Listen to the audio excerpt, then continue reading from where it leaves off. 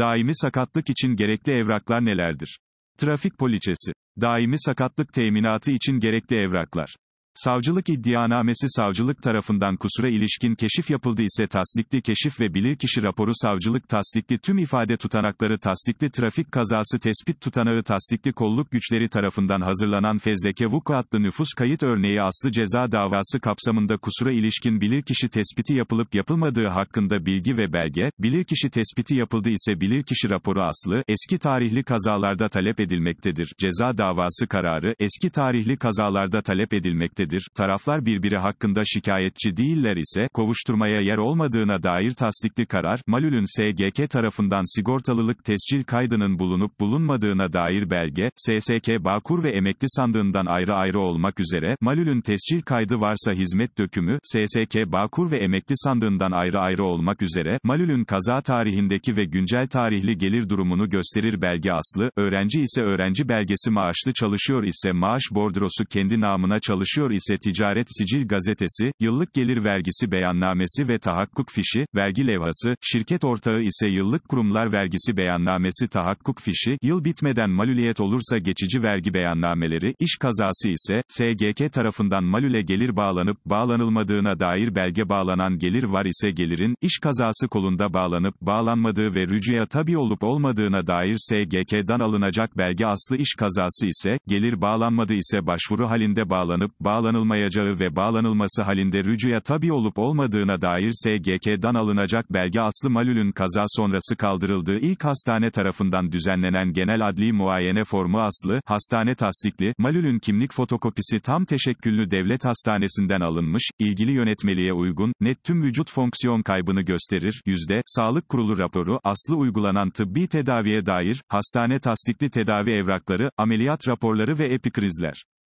Avukat Saim İNCEK AŞ Adana Avukatlık ve Hukuk Ofisi